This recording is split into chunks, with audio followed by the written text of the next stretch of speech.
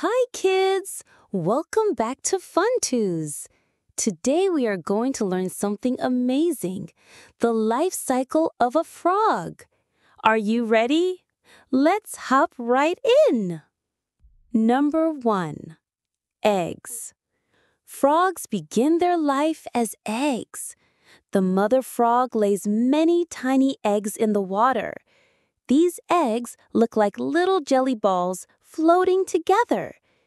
Inside each egg, a baby frog is growing. Number two, tadpole. After a few days, the eggs hatch and out comes a tadpole. Tadpoles look like little fish. They have a tail and they can swim in water. But guess what? They don't have legs yet.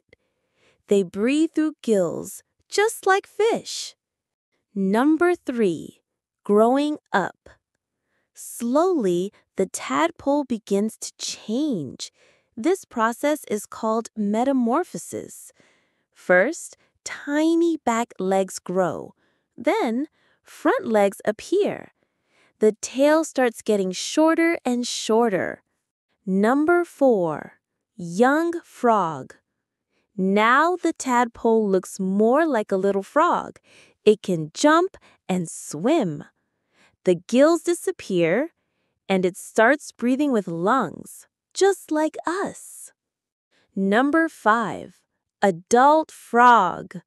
Finally, the young frog grows into an adult frog. Now it can live both on land and in water. The adult frog can lay eggs again and the life cycle starts all over.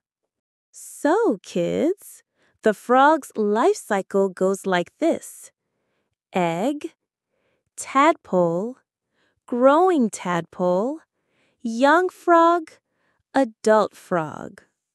Isn't it fun how a tiny egg turns into a hopping frog? Nature is truly magical. If you enjoyed learning today, don't forget to like, share, and subscribe to Funtooze for more fun learning videos.